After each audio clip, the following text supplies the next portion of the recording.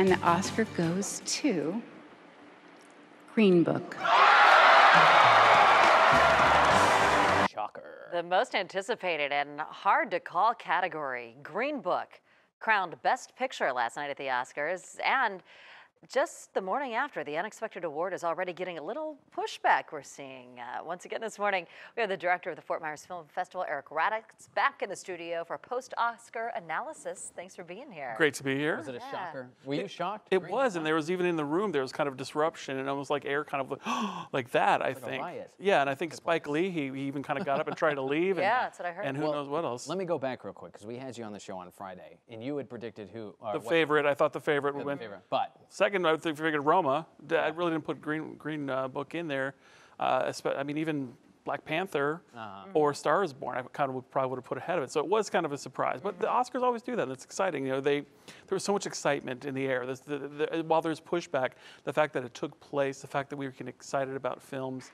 Uh, there was electric uh, lead up to it. Uh, I, I tuned in for the whole thing and the whole red carpet, and so these moments will be pushed. But there's always pushback when there's something fantastic that's being done, and the, the fact that it's 91 years, uh, there's always going to be people who complain, and I think the Academy is responsive to a lot of these complaints, a lot of the pushback.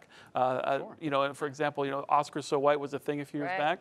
Now, not not that way. Um, the, the thought that they were going to give away some of the awards during these uh, during the commercials. They, they took they were responsive to that. They said, well, you know, maybe we should change mind. I think was, so. So what you're seeing is this response to uh, to the concerns, the creative concerns, and I think that says a lot about the Academy and about this uh, about this show. I read that uh, um, Green Book was the worst Best Picture winner since Crash. Now, I didn't. I didn't see the movie. I didn't see the movie. So Yeah. I'm, I'm curious if it was. Well, if it I- was Best Picture, Best Picture worthy. Uh, you know, it, it, it, yeah. I mean, it was it, was controversial in many respects too. A lot of Yeah. people thought that at the tail end, the reasons why there was some uh, uh, th- there was some pushback uh, was because of the kind of the white person's view of kind of a, of a world and of the world then, and, and from a from a black, and then and so you're going to get some of the controversy of it.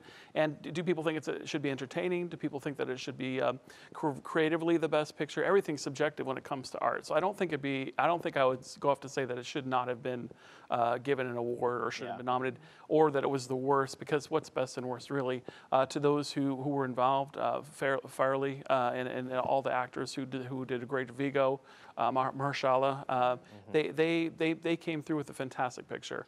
Uh, I think up against the others, though, I think even Star, Star is Born was better, Yeah. Black Panther was better. I certainly loved the favorite more, and I really thought Roma was going to get it. Speaking of actors, you said that Rami Malek would win. He did for Best Actor. Um, I don't think that anybody was really surprised or disappointed in that. Absolutely, and it's like you- like we spoke of before. Uh, he he saw, everyone saw it coming.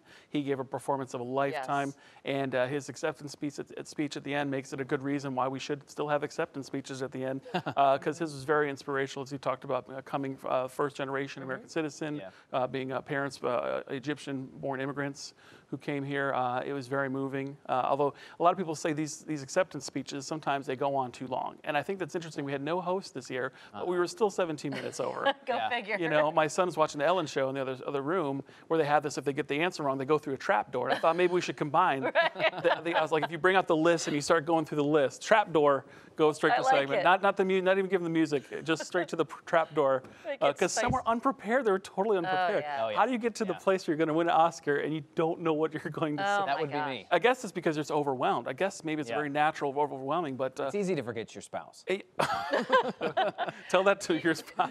You also not say that. you also talked about Olivia Colman winning Best Actress. Um, Glenn was what so did you, close. What did you think about that? I mean, Glenn Close was, I thought, the favorite for. She uh, was this year. definitely a favorite, and that's going to go down as one of the moments that, uh, well, it's a shocker. And I think even Olivia Colman, uh, she was shocked. I She don't, was, I don't think she even prepared a speech. I think she really Yeah. realized that if it's not going uh, to Glenn Close, it's probably going to Gaga. Right. And everyone would agree. So it kind of now she did a, she did an amazing performance, and the favorite was probably my favorite film of, of next to Buster Scruggs, uh, which I love the Coen Brothers. But uh, so so it- we shouldn't be surprised that she was awarded because she did a fantastic job. But she was kind of overshadowed by some of the nominations. Rachel Weisz, I'm a big Yeah. fan of Emma Stone. Uh, but the fact that she got uh, she got it, I think she was just as shocked as everyone. And it also tells you that you don't have to be an Oscar uh, winning uh, actress to be a fantastic actress. Hopefully, when Glenn Close went home, she She took a look in the mirror and said, "I'm good enough and I'm smart enough.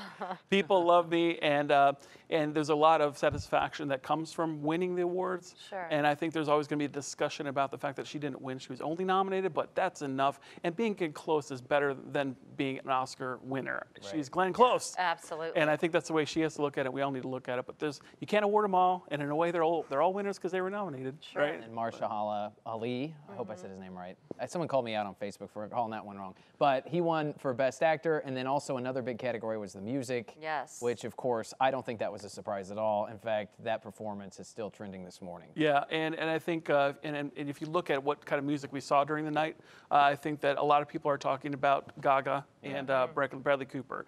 And it was such a tender moment. And, it is, and, it, and while it wasn't an overly politicized award show, I, th- I don't think it was by any means, there was some uh, tw- twinklings of it. I think people do want to react to those moments like we saw those performances. Even Adam Lambert with Queen at the beginning, Yeah. Just to put Yeah, that that's cool. together. You may not like him as a frontman as much as Freddie Mercury, but that's comparing to Freddie Mercury. you but they, they started off follow. there rocking it. People were enthusiastic. It was a great show. I think it was one of the best Oscar shows we've seen. I agree. And I think that uh, that, that uh, but people will be rewatching stuff like Gaga Cooper playing because it was just so It's called intimate. Cuckoo Gaga. Oh, is that what it is? That's what, that's what it's being. That's Isn't what I'm that- calling isn't it. that a That's what you're cereal? I just- I just came up Cuckoo with that. Gaga. I thought that was like a Gaga. cereal, like a ch- Cocoa Puff cereal.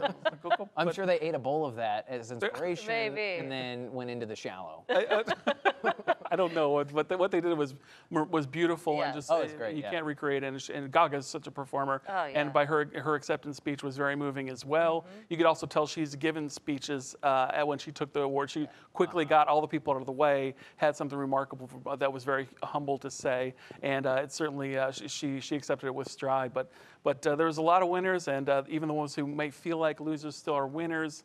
And it's, uh, you know, when you think about elevating the purpose of what film can do, we're talking about things we might not have talked about before. Uh, we're, we're having an appreciation for other people's points of views, even though we don't always agree with it. And we're enjoying and seeing and learning uh, history. Yeah. We're learning how people interact. We're learning how creative processes take place and then what can be achieved uh, when you come together and you actually make a film. And it can, it's a lot. That's one of cinema's biggest missions overall over the last hundred years. Is really do, delving into what you just spoke about as well. thank you. I mean, Eric? go back to 1950 and all kinds of stuff. Thank you so much for being Oh, it was here. We pleasure. appreciate Cool. it, and it was a great Oscars night. We'll, we'll look forward to I, it. w- I again missed you at the party though, but Uh, uh, I It's okay. know. Next This- year it's on a.m. again. That 1 a.m. wake up call just gets us every time. I thought about just pulling an all-nighter. I know. I, I texted you twice and I didn't get, get back from you. Was that who that was? That was me. I know you put me in your phone. I thought it was my Uber driver. Uh, coming up next on More in the Morning, is your dog starting to become more like you?